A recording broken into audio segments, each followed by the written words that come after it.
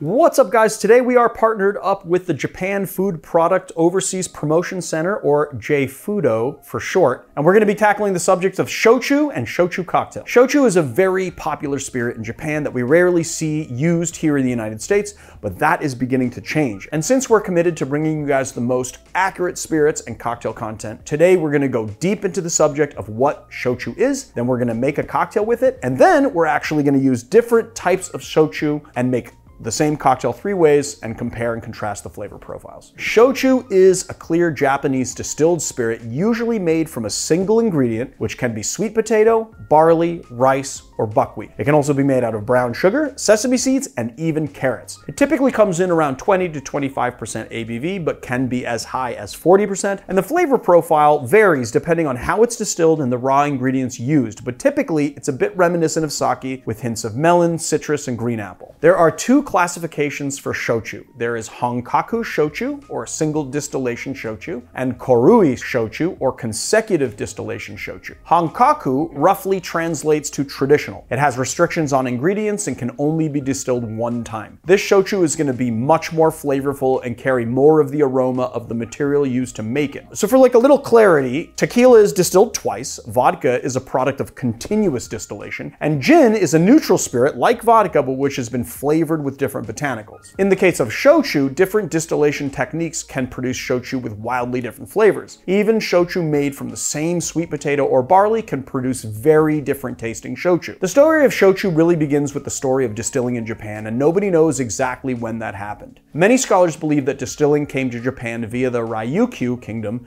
as early as the 14th century due to some evidence that locals were making awamori. The early spirit was a far cry from the shochu that we know today, which seems to have emerged in the early to mid 1500s. This is the earliest record of distilled spirits in Japan, and although the writer doesn't note the name of the spirit in his account, Japanese scholars believe that the spirit was shochu. So as time went on, sweet potato, which isn't native to Japan, was introduced, and producers began making shochu from Satsuma imo, or Japanese sweet potato. Japanese shochu is easily the more popular selling spirit in Japan, outselling whiskey by a long shot, but for now, and part of the reason we're making this video is that worldwide, it's still really well kept secret. So the traditional cocktail that we're gonna be doing today to make with shochu is known as a chuhai, which is an abbreviation of shochu highball. These drinks can be found all over Japan. There's really nothing to them. They're quite simple. They're just shochu mixed with some type of fruit component, such as fruit juice and topped with soda water. Today, I've made an original chuhai. I'm calling the City of Angels chuhai,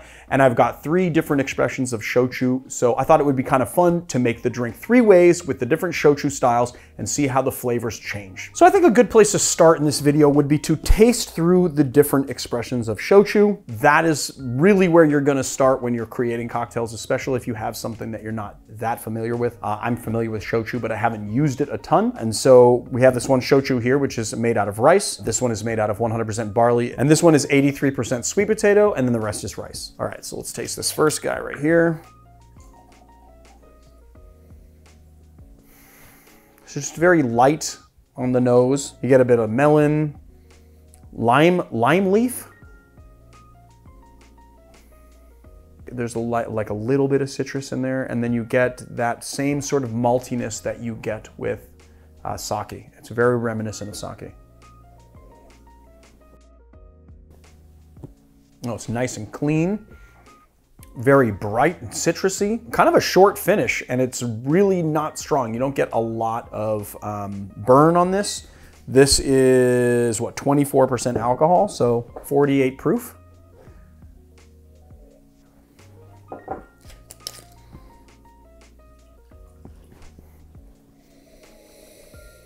Again, very light on the nose. You get more pronounced melon on this, a little bit of citrus, but it's a little more subdued. A tiny bit of alcohol. This one, it comes in at 25% alcohol or 50 proof. So just a little bit more proofy than the last one, but not by much.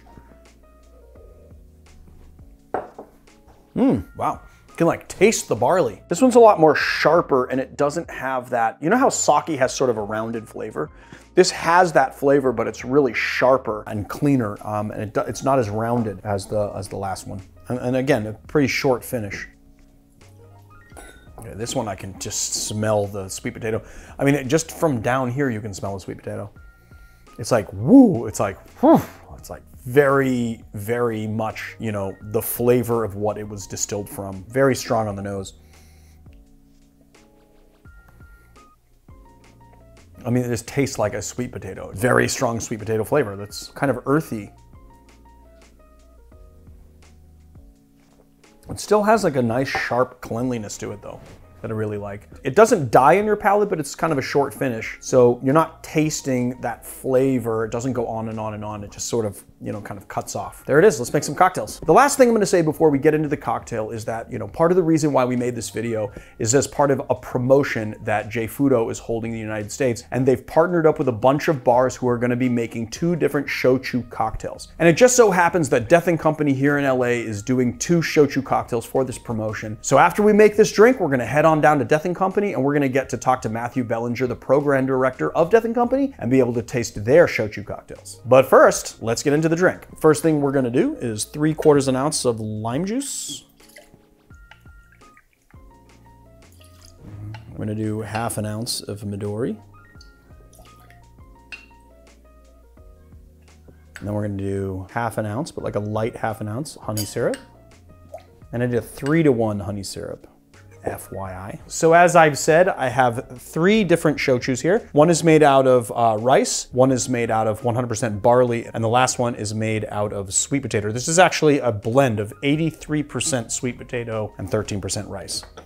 Um, so these should render very different flavored cocktails. I'm assuming this one's gonna be very clean in flavor.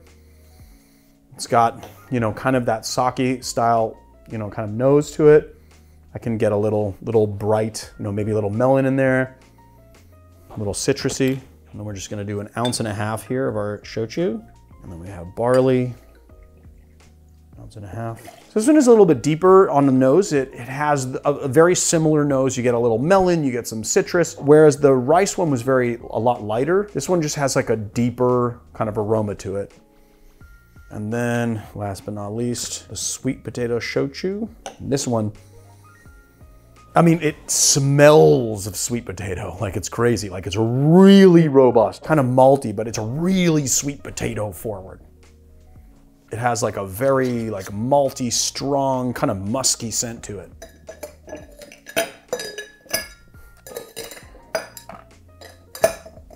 Aha! Oh, look at that, they're almost perfect.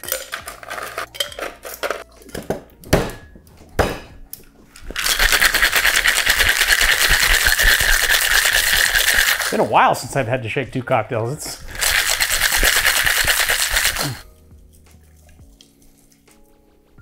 very yellow. It's like all the rest of the ice right there.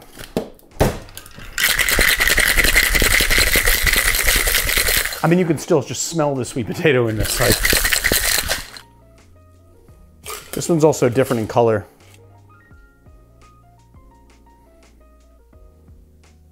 Really, really should be doing to make sure that this doesn't layer on top of the ice is doing this. Pouring the soda down the spoon, which will make it go all the way to the bottom. It'll follow the spoon all the way to the bottom. I'm just gonna give this that little three and a half turn, two, three and a half turns. One, two, three and a half. Okay, let's try it. Ooh, magnifique. Oh, so good. Nice and bright. Very sharp in flavor. You do kind of get a little bit of the maltiness of the shochu in that very vibrant lime and melon flavor. The honey syrup also provides a little bit of extra kind of mouthfeel, body, and a little sweetness to it. I like you. That's good. Okay, second one.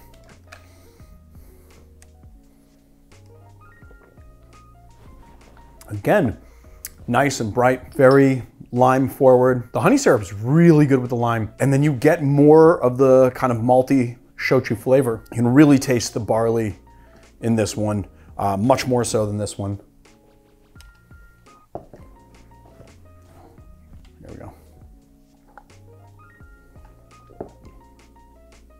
So in this one, the shochu is the dominant flavor profile, and you really get that very malty, very sweet potato forward flavor profile along with the melon and the lime. And it does go well, but it's really dominant. It's not as balanced as the other two, which are a little cleaner and a little softer, but they all work really nicely, respectively. So there you guys have it.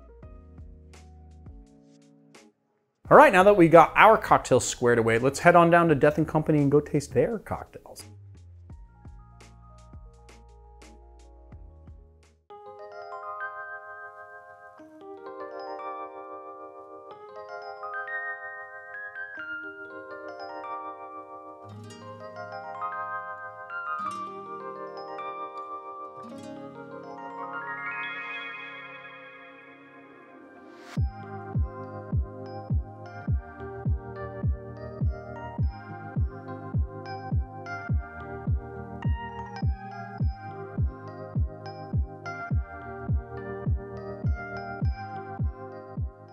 Uh, my name is Matthew Belanger. I'm the general manager here at Death & Co. LA. Right on. So something tells me that Death Company is the place that shochu has been on the menu for a while. When we opened in late 2019, early 2020, we had a shochu drink on the menu here. I find it like so interesting that shochu is something that in Japan outsells whiskey. Yeah. It's insanely popular. Yeah. But it, it's only a very small percentage of like global sales. Yeah. And a lot of like American drinkers don't really know that much about it. So like when somebody comes to this bar and they're like, "What's that?" How do you characterize it for them? So shochu is is essentially a, a grain-based spirit where they haven't distilled it as many times and they haven't aged it. So rather than the whiskeys of the world where the way that aging has imparted flavor to a whiskey, if you remove that entirely and say this is a spirit that's about the raw material and how it's transformed by fermentation with koji and mm-hmm. then how it's transformed by, you know, single distillation in a pot still or a, a column still.